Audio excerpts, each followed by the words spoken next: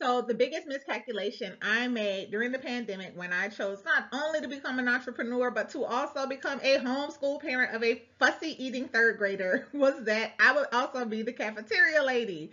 And it led to a lot of frustration.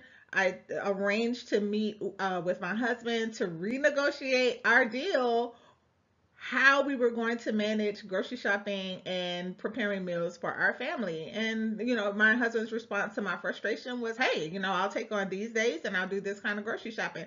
Now, ladies, sometimes we have a problem with the way the men shop. sometimes we have a problem with the, the way that they cook. And, you know, I had to let go of a lot of that. But one of the best agreements that came out of that moment of, of my just saying, hey, I need help was that my husband and I also agreed that I would begin to teach our son how to manage his way around the kitchen. And his first cooking place would be a George Foreman grill. We taught him how to do some simple sandwiches and things that he liked for his fussy little appetite. And so one of the last things that my husband and I could anticipate was that out of that agreement would sprout so much potential in our son which has led to this amazing little business that he has been developing. He's building his website.